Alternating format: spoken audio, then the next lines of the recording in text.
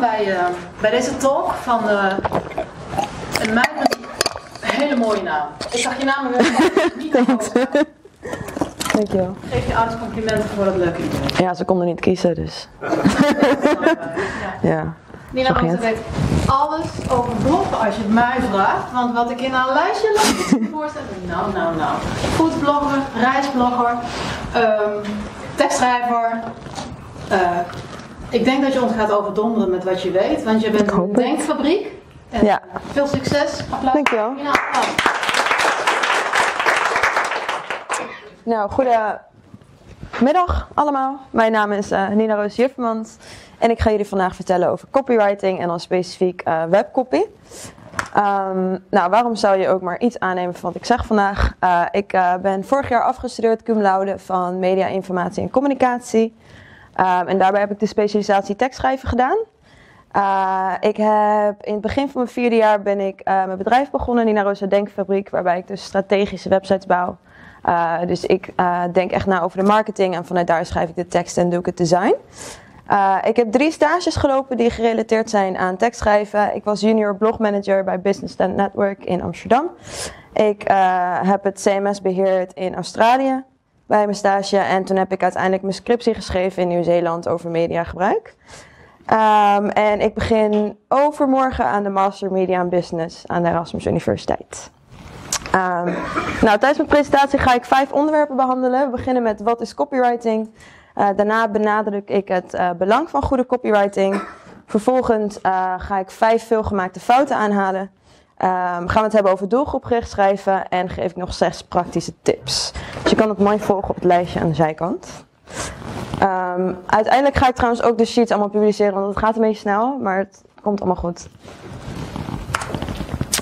Um, dus we gaan een interactieve oefening doen, jongens. dus pak allemaal je telefoon.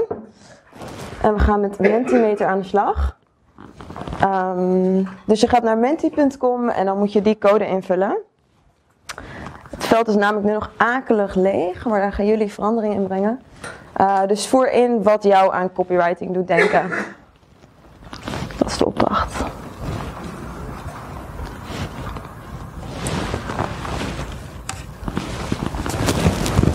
Ik ga zelf ook eventjes meedoen. Wat moet je precies hebben? Uh, wat jou aan copywriting doet denken. Dus, synoniem daarvan.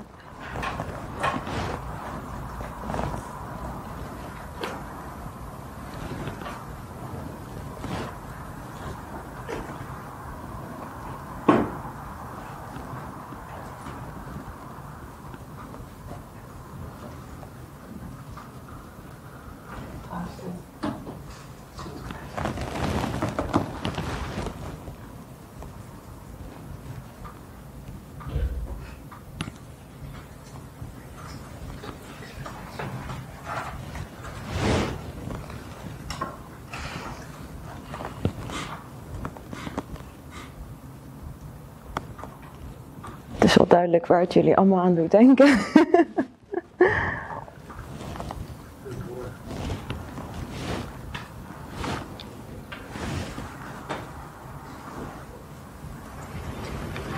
Is er nog iemand bezig? Nee? Dank jullie wel voor jullie bijdrage. Uh, nou, zoals je ziet. Oh, iemand was toch nog bezig. zoals je ziet, is de schrijven waar de meeste mensen aan denken. En uh, nou ja, tekst. Ik zie geen taalfouten, content. Um, en de boodschap. En het allerbelangrijkste is wel dat je doelgroepgericht schrijft. En dat je ook nadenkt dat er heel veel marketing bij komt kijken. Um, is even een screenshot. Zo. Dat er dus ook allemaal marketing bij komt kijken. En daar ga ik het dus uh, in het. no worries vierde stukje over hebben. Dus dan gaan we weer verder. Um, er zijn vijf dingen waarvan ik denk van oké, dit is uh, uh, waarom copywriting belangrijk is. Het is het eerste contactpunt. Als mensen op jouw website komen, is dat misschien de eerste keer dat ze je zien. dus ja, je hebt maar één kans om een eerste goede indruk te maken. En als het dan echt hele lelijke teksten zijn met of heel veel spelfouten of dat gewoon niet bij je doelgroep past, ja, dan haken mensen gewoon af en dat is heel erg zonde. Um, daarop aansluitend heeft het heel veel te maken met je professionele imago. Dus als je het goed doet en je schrijft echt voor je doelgroep, um, dan draagt het bij aan een professioneel imago. Als je het slecht doet, dan draagt het dus bij aan een slecht imago. Ehm, het heeft ook te maken met SEO. Ik weet nog de tijd dat je gewoon lekker op iemand anders website jouw link kon laten plaatsen en uh, heel veel keywords erbij zetten. En uh, dan rankt je wel hoog op SEO. Nou ja, we weten allemaal met Joost dat dat niet meer zo is. Uh, het heeft er ook mee te maken hoe lang mensen op jouw website blijven, hoeveel pagina's ze bezoeken. Hè? Dus op het moment dat jij echt goede teksten schrijft um, en mensen blijven lang op jouw website, dan draagt dat ook uiteindelijk bij aan goede SEO. Verkort door de bocht. Uh, het heeft ook te maken met gebruikersvriendelijkheid. Dat slaat ook weer een beetje terug op die eerste paar punten. Uh, als jij een website maakt die goed bij je doelgroep past, dan is dat heel gebruiksvriendelijk. In plaats van dat je heel lange teksten hebt die gewoon niet passen. En uiteindelijk, ja, ik design zelf ook, dus ik weet dat design heel belangrijk is. En als de website er echt lelijk uitziet, nou ja, dat doet natuurlijk niet heel veel goed. Maar design overtuigt niet om te kopen. Uh, als je bijvoorbeeld een webshop hebt, kan je echt een heel mooi plaatje hebben of een hele mooie banner. Maar op het moment dat jouw productomschrijvingen gewoon echt heel slecht zijn, ja, gaan mensen het niet kopen. Uh, dus dat zijn de vijf belangrijkste dingen. Dan heb ik hier uh, de vijf nou ja, meest gemaakte taalfouten uh, als mensen mij e-mails sturen of als ik andere mensen hun website zie. Dat zijn, ik ga ze allemaal toelichten hoor. Passieve zinnen, kettingzinnen, Engelse ziekte, dt-foutjes waar Irene het over had en inconsequentie. Uh, dus passieve zinnen is eigenlijk als je het onderwerp pas uh, later plaatst. Dus eigenlijk is het hoofdonderwerp hier het product, maar we beginnen met het haar. Dus dat leest gewoon niet zo lekker. Het gaat om het product, dus moet je daar ook mee beginnen. Dus in plaats van het haar wordt door het product weer levendig, herschrijf je het naar uh, dit product maakt het haar weer levendig. Heet dat dan ook een actieve zin die onder zit? Ja, die onder, ja. Ja, ja passief-actief, ja. makkelijk. Uh, maar dat zie je heel veel bijvoorbeeld in onderzoeksrapporten of zo. Dan moet het natuurlijk wel omdat je niet mag zeggen ik vind, maar in het onderzoek wordt. Maar ja, op websites leest dat gewoon echt niet lekker. Dus uh, probeer dat te vermijden. Dan kettingzinnen. Uh, een kettingzin is eigenlijk uh, een zin die ingebouwd staat door andere zinnen. Dus nou, dit is, ik moest echt bijna huilen hiervan. dus deze producten zorgen dat je arganolie, waar Moroccan Oil haar succes aan dankt, van top tot teen kunt ervaren. Ik weet niet of iemand snapt wat daar staat. Nou, ik dus niet echt. dus ik heb hem opgedeeld in twee zinnen. Moroccan Oil dankt haar succes aan arganolie, punt. Uh, deze producten zorgen ervoor dat je arganolie van top tot teen kunt ervaren. Ah, ik vind dat echt heel veel chillen lezen. En uh, ja, je weet gewoon meteen wat er, wat er bedoeld wordt. En uh, ja, dat gebeurt heel vaak omdat mensen heel veel informatie kwijt willen in een zin. Maar ja, breek het gewoon op, dat is veel beter. Ehm, dan de derde, de Engelse ziekte. Ik doe dat zelf ook heel vaak omdat het Word het gewoon niet aangeeft dat het fout is. Want veel is een woord, gestelde is een woord, argan is een woord en olie is een woord. Dus als je dit invoert, dan lijkt het goed, maar dat is het dus niet. Want veel en gestelde hoort bij elkaar en het is de olie van de argan. Dus dat is ook één woord. Um, wat ik altijd doe als ik dit soort dingen niet zeker weet, ik google het gewoon. En dan uh, staat er arganolie of arganolie. Ja. Weet je het meteen. Dus. Um, dan de vierde, de dt-foutjes. Nou, ik denk dat we die allemaal wel kennen en hebben gemaakt. Um, ik raad je ook gewoon hierbij aan om het te googlen als je het niet zeker weet. Want het kofschip heeft ook weer allemaal uitzonderingen. Dus uh, het makkelijkste is om dit te googlen en om het op te schrijven. En dan uh, vergeet je het niet meer. Dus in plaats van dit product is verrijkt met een D, is het dit product is verrijkt met een T. Het is tegenwoordig tijd. En de allerlaatste is inconsequentie. Ik uh, zie dit vooral als er meerdere mensen aan een website samenwerken of aan een brochure of iets. Um, ja, je moet eigenlijk gewoon afspraken maken over hoe je dingen schrijft. Dus hier bij die bovenste zie je dat je eerst een spatie tussen 10 en milliliter doet en later niet meer. Maar je, je moet ervoor kiezen of je het of wel of niet doet. En ook bijvoorbeeld met die euro, doe je daar een spatie tussen, doe je er een streepje achter. Ja, het is echt heel lelijk als je dat op verschillende manieren door je website hebt staan. Dus uh, dat is ook een veelgemaakte fout. En ook hier en nu in één stuk. Ja, ja, dat, ja, dat zie je ook heel veel. Maar dat is echt vooral als mensen zeg maar samen aan iets werken en dan daar gewoon niet zo goed over na hebben gedacht. Dan, uh... Maar goed, hopelijk gaat het volgende daarbij helpen. Namelijk doelgroepgericht schrijven. Dit gedeelte gaat heel erg snel jongens, maar het komt dus allemaal online. Dus uh, bij doelgroepsgericht schrijven ga je er echt nadenken uh, voor wie je gaat schrijven. Dus als je zelf gaat schrijven, dan ga je misschien kijken, oké, hier wil ik het over hebben. En dan ga je het gewoon tikken, maar dat is dus niet heel goed. Uh, je moet echt nadenken um, voor wie je het doet en dat, dat uh, ja, eerst duidelijk hebben. Um, we gaan het doen aan de hand van twee dingen, namelijk een buyer persona maken en een marketinganalyse.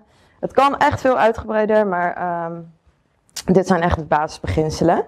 Ehm, dus de buienpersona bestaat uit vier onderdelen, namelijk demografie, socio-economie, woning en locatie en lifestyle.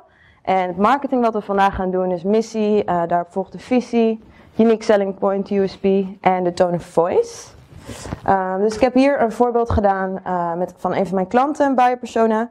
Dus het demografische gedeelte, dat is echt nou ja, de basiskennis, naam, leeftijd, is hij getrouwd, heeft hij kinderen. Um, ik denk dat iedereen, zelfs al denk je er niet heel erg over na, dan heb je dat eigenlijk wel duidelijk als je een website hebt. En dan het tweede gedeelte is socio-economie. Dus nou ja, um, dat heeft met werk en werkervaring te maken. Dus het inkomen, werksituatie, auto heeft er ook mee te maken. Want wat voor auto kan je betalen?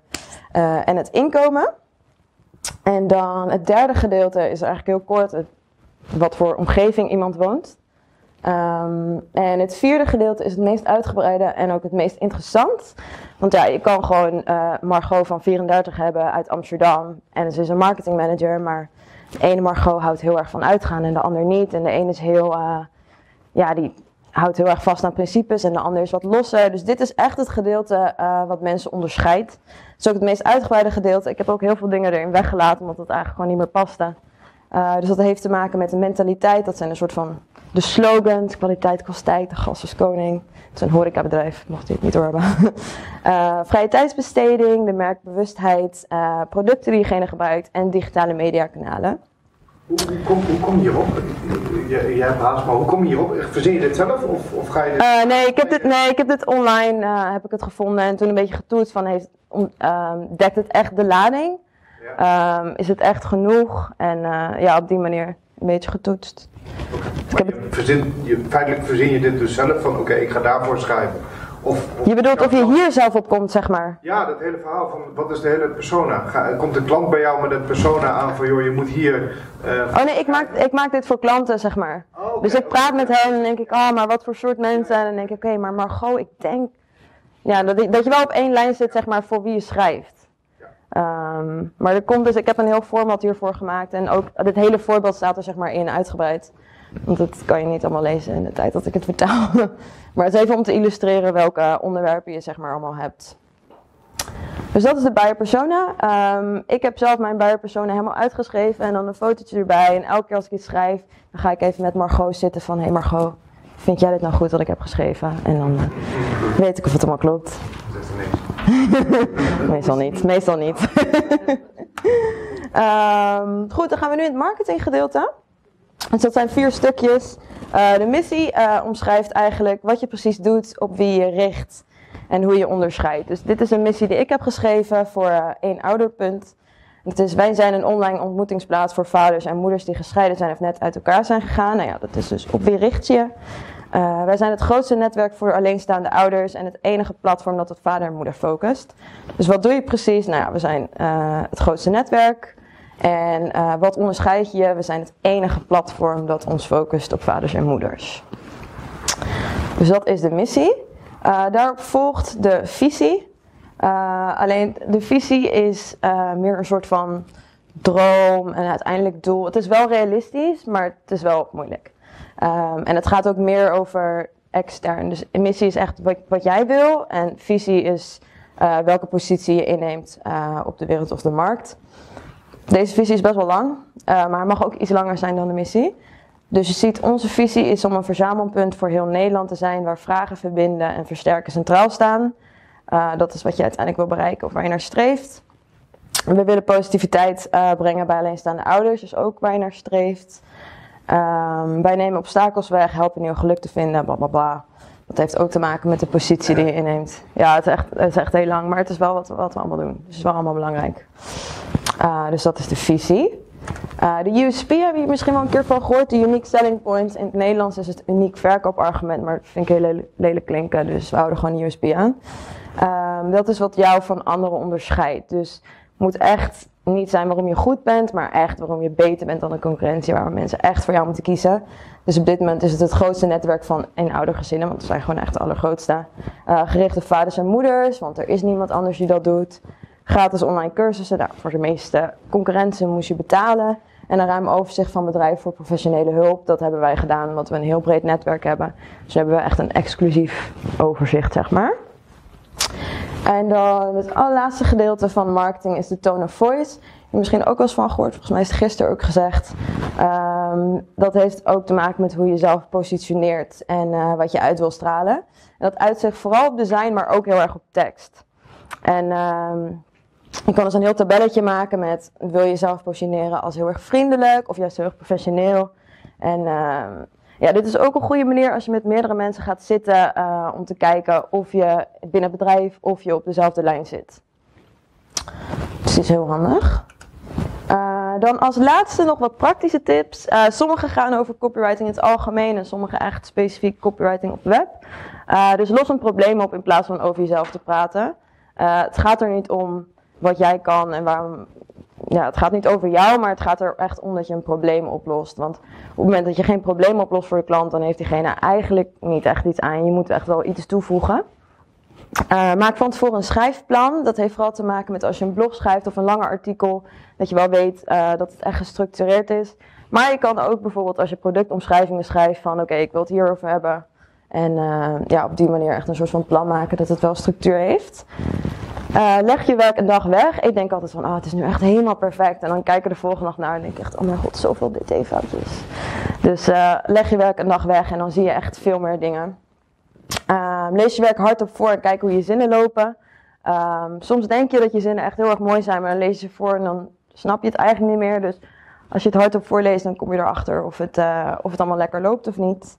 Werk in Google Drive. Ik heb voor al mijn klanten een gedeelde Google Drive. En daarop uh, heb ik allemaal Word docs.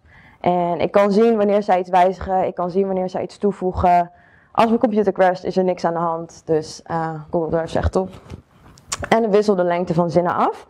Uh, vaak zijn zinnen iets van 10, 15 woorden.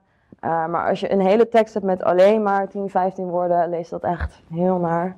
Uh, dus wissel het af met soms één, twee woordjes, soms echt wel langere zinnen, uh, maar niet alleen maar dezelfde lengtes. Dus, dat was hem. Ik weet het ging heel snel, maar ik heb een pagina voor jullie gebouwd en daar kan je alle sheets op vinden.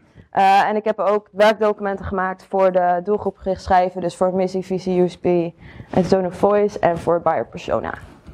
Dus dat was hem. Thanks. Hey. Ik duik even Oh, onder. Oh, wat, Oh, wat zal ik eens krijgen? Ik voor jou. Je wel Yay. gebruiken, want je gaat veel op reis. Dankjewel Ja. dat je er was. Dank je. En voor ons hebt gesproken. En dan hebben we nog even wat tijd voor vragen. Bring it on. Daarvoor leg je weg, een dag weg. Ja? Maar heb je dan ook tips voor mensen die onder pressure staan en die moeten direct hun tekst eh, publiceren? Is dat gehaald? En Ehm, ja, dan zou ik dus eh, aanraden om het gewoon hardop voor te lezen. Dan haal je er ook al best wel veel dingen uit. Ehm, of, nou, ik weet niet hoeveel je dan onder pressure staat, maar het helpt ook als iemand anders er gewoon even naar kijkt. Maar ja, ik weet niet of je daar tijd voor hebt.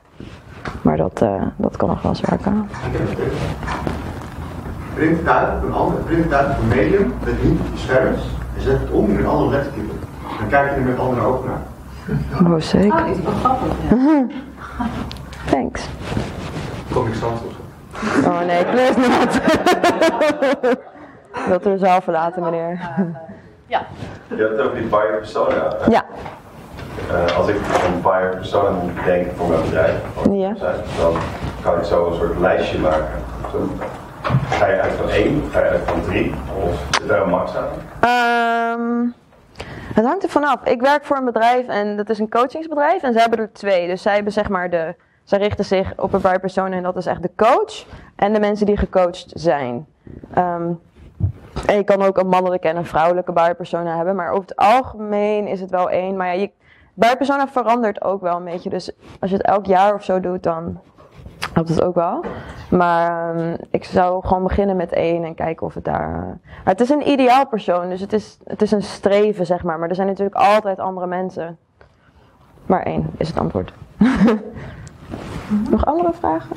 Gisteren was eh, Bridget Willard. eh, Ja, die heeft buitenpersonen afgekraakt. Ja. die had daar een andere visie op. Ik vond het, Kan je daar Ja. iets over zeggen? Wat zei ze? ja. zij zegt in feite, ehm, persona's neigen heel gauw ernaar dat het een soort van gefixeerde, gefixeerd iets wordt. Terwijl zij het voorbeeld gaf van iemand die hier in de zaal aanwezig was, die tot haar grote verbazing toch iemand anders geworden was in het Ja, ja, ja. wat eh, dat ze hem kende. Ehm, en ik, kijk, ik zie het nut wel van persona's in op zich. Maar ik denk ook dat je je persona's af en toe moet editen. En, en Ja, dat is ook zo. ik, vind, ik vraag me ook altijd af eh, in hoeverre je nou echt een doelgroep moet eh, definiëren. Dat moet je Terwijl- niet beperken, dat moet je helpen. Ja, precies. Ja. Ja, het is, een, het is een richtlijn. Het is niet dat je alleen maar voor dat persoon schrijft, zeg maar. Maar Want waardoor helpt het in jouw ogen? nou ja, dat je, ehm, het helpt voor mij met mijn woordkeuze, zeg maar. Omdat ik eerst dacht van oké, ik richt me op mensen die website willen. Dus ik moet heel professioneel. Maar toen dacht ik, ja, ik richt me eigenlijk meer op de jonge mensen. Want die zijn gewoon fijn om samen, die snappen wat van de techniek en zo. Dus daar werk ik samen mee. Dus dan mag ik ook best wel wat brutaler taalgebruik eh, gebruiken. Dus op die manier heeft het mij heel erg geholpen. Al je tone of voice. Ja. Ja, hoe zou je dat bijvoorbeeld doen als je een congresgroep zit, net als, of niet, net als WordCamp, Ja. waarbij je inderdaad zegt, ja, we, eigenlijk is het doel inclusiviteit, dus het zijn heel veel verschillende mensen. Dus alle leeftijden zou het kunnen zijn, alle opleidingsniveaus, eh, hè, van mensen die compleet nieuw zijn en niks van het jargon snappen, tot heel technisch onderlegde mensen. En Ja, nou, het, dan een. Sorry, ik heb, bedenk me dat ik echt geen één vraag herhaald heb. De vraag is, als je een heel, ehm, een, iets organiseert voor een heel breed publiek, hoe je dan een eh buyer persona stelt, toch? Dat Ja, was het. voor congres of een bijeenkomst. Ja, Eh, nou ja, er zijn toch wel overeenkomsten tussen dat soort mensen. Dus nou ja, iedereen gebruikt WordPress of is bekend met WordPress. Ehm, het zijn ook niet de allersociaal gestoordste mensen, want het is wel ook een beetje netwerken. Ja, eh, de leeftijd is dan wel, loopt wel heel erg uiteen, maar er zijn toch wel overeenkomsten tussen dat soort mensen. Dat ze gedreven worden, het zijn misschien ondernemers. ehm, eh, het zijn mensen die toch wel tech-savvy zijn. Eh, dus er, je kan uiteindelijk toch wel een lijstje maken. Of het echt zin heeft om dan zo'n hele buierpersona uit te werken, Ja, weet ik niet. ergens anders door hobby. Ja, noem maar op. Ik, ik zie Ja. verschillen zien, zeg maar. Ja, maar je kan wel een, een doorsnee persoon maken, zeg maar gewoon één iemand. Eh, maar zoals ik zei, je kan je op iemand focussen, maar er zijn altijd wel andere mensen die ook aangetrokken voelen. Ik focus me dan op startende ondernemers, maar ik heb ook iemand die een bedrijf uit 1940 heeft. Dus niet echt een startondernemer. Oké. Ehm, en dan dringende laatste vraag. Want de vraag waarmee eigenlijk dit, eh, deze talk werd aangekondigd is... eh, hoe houd je lezers bij je tekst? Of wat had je al... Ja, hoe laat je je websitebezoekers doorlezen? Ja, kan je daar één antwoord op geven? dat is wel lastig. Ah, hoe laat je je websitebezoekers doorlezen? Want ik dacht, ja, leuke vraag. Ehm, We kunnen misschien met elkaar een antwoord door, ja, laat je. Ja, doelgroepgericht schrijven. Nee, ik denk Alles bij elkaar, wat je zegt. Ehm, ik denk dat je wel je design af moet stemmen op je tekst ook. Dat dat wel heel veel te maken heeft, aangezien dat de eerste indruk zeg maar is. Ehm, Het staat eigenlijk op de slide. Ja, Doel, doelgericht schrijven. Dat is, ja, dat is wel de key zeg maar, vind ik. Ja, ik kan het niet echt samenvatten in één ding. Het is mijn hele vak. vraag, maar het is wel dat wat je alles bij elkaar Ja, ja, ja. Is dat je zorgt dat je schrijft voor je doelgroep. Ja. Dat die doelgroep blijft lezen. Dat ze Ja. lezen. Oké, Dat is dank denk ik wel. Rosa. Thanks.